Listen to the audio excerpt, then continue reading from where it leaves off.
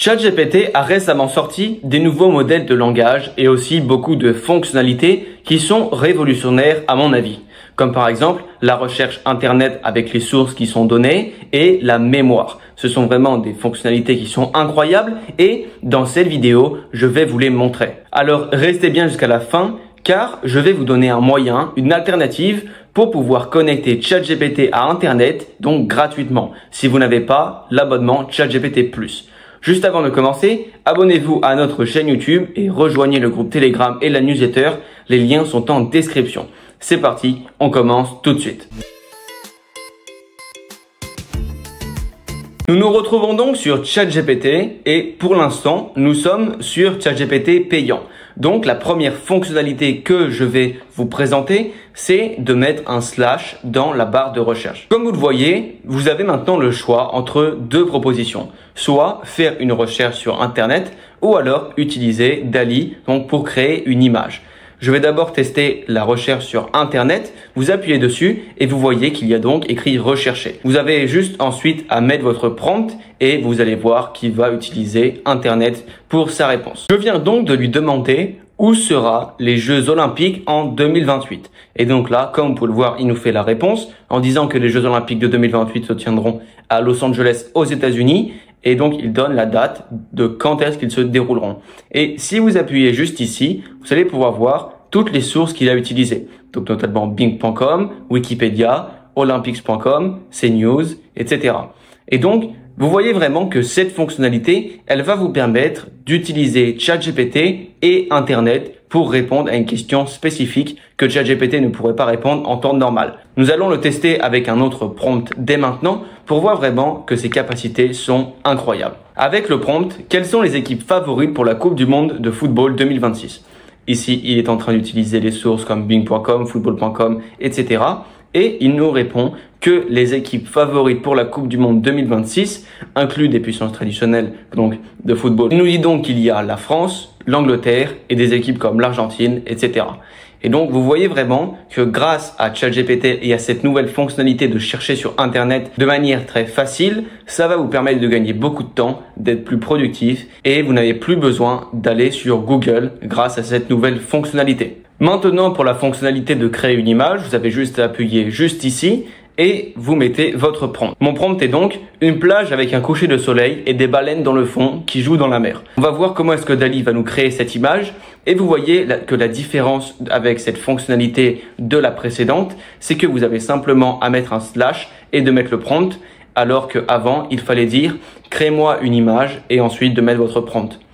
Ici donc on peut voir le résultat et donc on peut voir que le résultat est simplement bluffant avec euh, toutes les couleurs qui sont juste là, les détails donc avec les baleines. Et donc on peut voir que l'intelligence artificielle dans ce domaine de création d'images, il est vraiment impressionnant. Donc là, c'est vraiment intéressant cette nouvelle fonctionnalité de ChatGPT. Ce qui est intéressant avec cette nouvelle fonctionnalité et DALI, c'est que vous allez pouvoir changer donc votre image directement sur ChatGPT. Ici, comme vous pouvez le voir, nous avons créé notre image et vous voyez que sur la droite, nous avons un petit espace où nous allons pouvoir faire des changements. Vous allez pouvoir le dire, rajoute plus de nuages dans le ciel. Donc là, il va nous recréer l'image. Ici, vous pouvez voir grâce à l'icône qu'il est reparti de l'image de départ pour créer la nouvelle. Donc ça, c'est vraiment intéressant et on va voir le résultat dans quelques secondes. Ici, il vient donc de finir la génération et si on appuie dessus, on peut voir qu'il y a une grande différence et qu'il y a bien plus de nuages comme nous lui avons demandé. Je vais maintenant vous montrer la fonctionnalité de mémoire. Je vais donc demander à ChatGPT, écris-moi un code pour créer le jeu de Snake. Donc là, on met entrée et on va voir sa réponse dès maintenant. Voilà, donc là, il vient de finir de créer le code en entier. Donc maintenant, on met un nouveau chat. Et maintenant, je vais demander à ChatGPT, est-ce que tu te souviens du code que je t'ai demandé de créer? Donc là, on met entrée. Et maintenant, il va faire appel à la fonctionnalité de mémoire. Et donc là, il nous dit, oui, je me souviens que tu as demandé de créer un jeu Python avec Pygame et où la Pokéball peut être déplacée. Donc là, il est en train de faire référence à une vidéo que je vous avais fait donc à propos de créer votre propre jeu vidéo. Et donc là, il fait le résumé donc du code que je lui ai demandé. Et donc vous voyez que la mémoire, elle vient quand même d'être de plusieurs semaines, voire des mois d'intervalle avec la vidéo où je vous avais montré comment vous allez pouvoir créer votre propre jeu vidéo. Et donc là, on peut voir qu'il y a écrit mémoire mise à jour. Et donc là, vous allez pouvoir gérer la mémoire de ChatGPT, donc qu'il vient d'utiliser. La fonctionnalité de mémoire de ChatGPT, elle est vraiment impressionnante car elle va permettre à ChatGPT d'avoir un fil d'actualité et de revenir à des questions, à des prompts que vous lui avez demandé auparavant. Donc, euh, si vous avez un projet que vous voulez faire et vous n'avez pas besoin de retaper le même prompt, ChatGPT va pouvoir vous créer des réponses basées sur votre prompt et aussi sur les anciens. Donc là, grâce à ça, la réponse de ChatGPT va être de meilleure qualité. Maintenant, le moment que vous attendez tous, donc comment est-ce que vous allez pouvoir utiliser une extension Chrome pour connecter ChatGPT à Internet sans avoir recours et sans avoir payé ChatGPT+, donc de manière gratuite. Vous avez juste besoin d'aller sur le Chrome Web Store et ensuite vous allez devoir mettre Web GPT. Vous allez prendre la première extension et donc vous allez pouvoir lire tout cela, les commentaires si vous le voulez et vous avez juste à appuyer sur ajouter l'extension. On peut voir qu'il y a plus de 3100 avis et donc à 4,3 étoiles. Donc ça c'est vraiment très bien pour une extension Chrome et vous allez voir ces résultats dès maintenant. Ici, vous pouvez voir que l'interface, il vient de changer. Je suis donc sur le plan gratuit de ChatGPT, je n'ai pas payé et Ici, vous pouvez voir que il y a des boutons qui sont apparus, notamment invite en un clic juste ici et accès au web.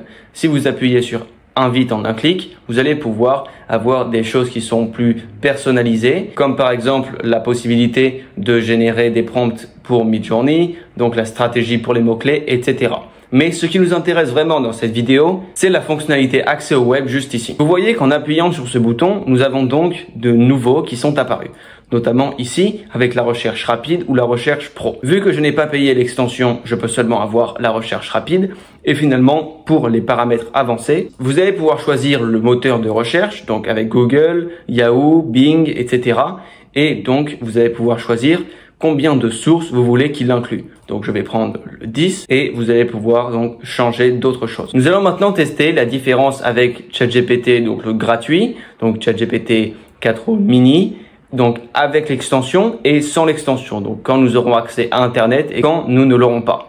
Donc là, vous pouvez voir que c'est décoché et je vais lui demander quand sont les prochains Jeux Olympiques. Il nous répond que les prochains Jeux Olympiques auront lieu à Paris en France du 26 au 11 août 2024. Donc ces Jeux Olympiques sont déjà passés et quand je dis quand sont les prochains, je parlais de ceux en 2028. Et vous pouvez voir maintenant que j'active l'accès à Internet et je vais lui demander quand sont les prochains Jeux Olympiques qui est le même prompt que juste en haut. Là, on peut voir qu'il est en train d'utiliser des articles de internet et donc ici, on peut voir qu'il dit les prochains Jeux Olympiques auront lieu à Paris. Donc ça, c'est la même réponse qu'en haut.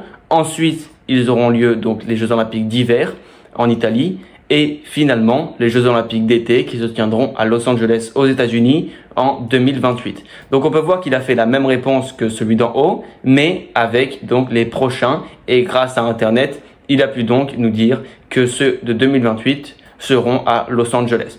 Là, ici, on peut voir les 10 sources que je lui avais dit juste avant d'utiliser. Et donc là, il a utilisé olympique.com, euh, francebleu.fr, Le Parisien, etc. Vous pouvez voir qu'il y a vraiment une grande différence entre donc le fait d'utiliser ChatGPT qui est connecté à Internet ou quand il n'est pas connecté à Internet. J'ai seulement fait un exemple et vous pouvez voir vraiment la différence qui est bluffante. Dans le premier cas de figure, nous n'avons aucune information qui est valable car nous faisions référence à ceux de 2028 et dans la deuxième réponse avec donc l'accès à internet, on peut voir qu'il a pu faire une réponse qui est vraiment complète et si vous avez besoin de sources, eh ben vous allez pouvoir les utiliser. Finalement, dans cette vidéo, je vous ai présenté les fonctionnalités qui sont révolutionnaires de ChatGPT. Donc, si vous avez ChatGPT payant, ChatGPT+, vous voyez que les fonctionnalités, notamment avec le slash, sont vraiment importantes et sont vraiment de grande qualité avec la recherche Internet. Donc, cependant, si vous n'avez pas le ChatGPT payant et que vous avez le gratuit, il y a quand même certaines alternatives qui vont vous permettre d'avoir un résultat qui va vous permettre de vous approcher de la version payante, même si c'est toujours un petit peu en dessous.